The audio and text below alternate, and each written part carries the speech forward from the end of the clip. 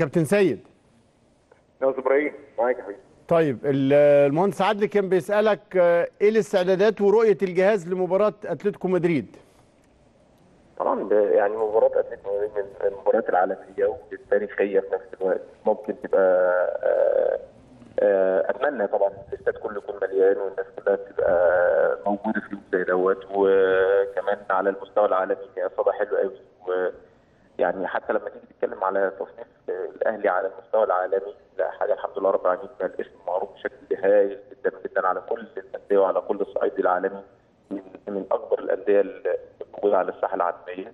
فدي سلسلة من المباريات التاريخية اللي بياخدها آه، النادي الأهلي واللي بتفضل معلقة بالأذهان يعني معلقة بالوجدان معلقة حتى بالجماهير كل المصرية مش شرط الأهلاوية بس يعني. فبالتأكيد دي حاجة آه، دي حاجة هايلة جدا يعني. طب قول لي يعني أنا بس عايز أسأله في الحتة دي حاجة. اتفضل. عندي اقتراح كابتن سيد. آه، يعني أنتوا وجهتوا الدعوة لمجموعة من اللاعبين هنقولهم دلوقتي عندنا وفي ناس وافقت عندنا الموافقات.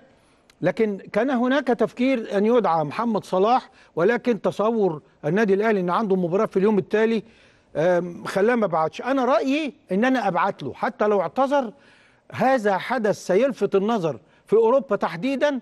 إلى هذه المباراة واهميتها مجرد إن جواب يروح له حتى لو اعتذر شيء هيفيد جدا جدا الهدف العام من هذه المباراة السلام ضد الإرهاب. فأرجو ان يتبعت الجواب حتى لو إحنا متأكدين من الاعتذار. بالتأكيد طبعا نتكلم كان مع كابتن حسام بدري ونرجع فيها للإدارة ونشوف الدنيا ماشية إزاي. لكن آه، محمد صلاح يعني واحد من الناس اللي هي آه، تفتخر إن هو آه، مصري يعني بالتأكيد ودي حاجة كويسة قوي و و و آه، الموضوع ده بدري آه، يعني- وبعد كده ننقلها للإدارة عندنا بصراحه مجرد الجواب ما هيروح هناك هتلاقي هيبقى مجال خبر يعني في في في الدوري الإنجليزي وأوروبا. الاعتذار أيضا مجا- هيبقى فيه آه، هذا الكلام. وهتلاقي محمد صلاح نفسه بيكتب كلام طيب عن هذا الموضوع. وهو المطلوب في هذه المباراة تحديدا التي يترقبها العالم. آه بالتأكيد يا كابتن علي.